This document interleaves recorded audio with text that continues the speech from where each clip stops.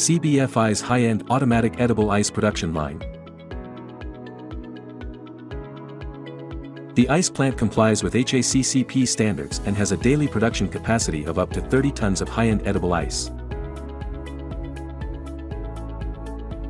The production line comprises a purified water room, an ice making room, an ice processing room, and an ice storage room. The factory's overall design adheres to the LCCP design concept. Purified water, treated by a nano-level water purification system, is delivered to the CBFI transparent direct cooling block ice machine for production of ice.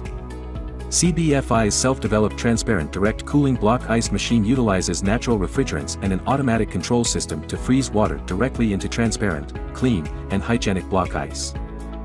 This device is the core component for producing transparent ice blocks. It utilizes a screw lift mechanism to automatically raise and lower the ice tray.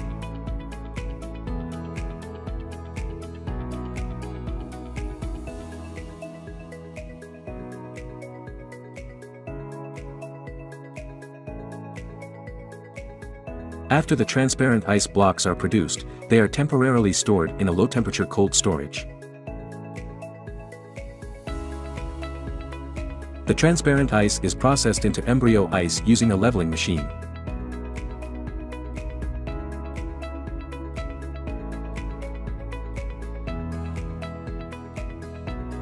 The embryo ice then enters the deep processing room to be transformed into sphere ice and shaking ice.